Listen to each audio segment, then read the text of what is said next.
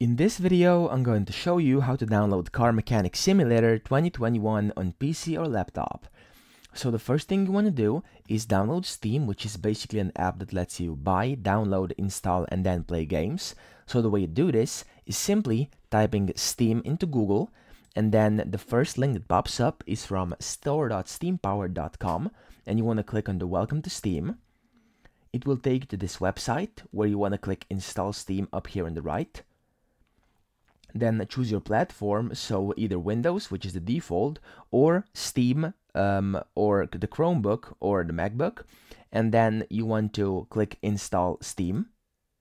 And now, once that's done, you'll see that your Steam setup has been downloaded to your computer. You want to click on it, and then put in your admin PIN in case it asks you to.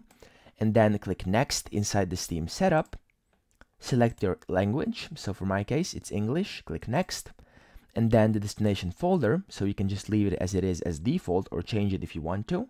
Then what you want to do is press install and it will install steam for you automatically onto your computer. Now as you can see i have it installed already so i'm not going to do it yet again. And once you've successfully installed steam on your computer you can open up the app and you'll see that it will ask you to uh, log in or re register so you want to log in or create a new account.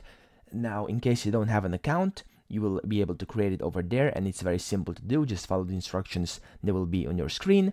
And now once you've done that too you will be able to see the exact same screen where I'm at right now and it's the Steam store. Now if you don't see this you want to go up here click on store and you're in here and then you want to go to the search box and type in car mechanic and as you can see, the first thing that pops up is Car Mechanic Simulator 2021. If it doesn't pop up, just simply type in the entire name of, name of the game and you'll be able to see it. Then click on it. Now scroll down here where it says Buy Car Mechanic Simulator 2021. Now, as you can see, this game does have a demo version, so you can also, if you want to, download a free demo version of the game, which is, of course, not the full game. So I would encourage you to actually buy the game and enjoy the full version, which is much, much better. And now the way to do this is simply clicking Add to Cart over here, pressing View My Cart, then selecting whether you want to buy it for your account, so for yourself, or as a gift for somebody else.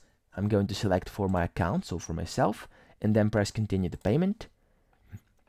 Now you want to select a payment method from the drop-down menu. In my case, I'm going to choose PayPal, but you can choose any one of these you'd like. And now once you've done this, you have to press this continue button right here, go through the entire checkout process, pay for the game and buy it.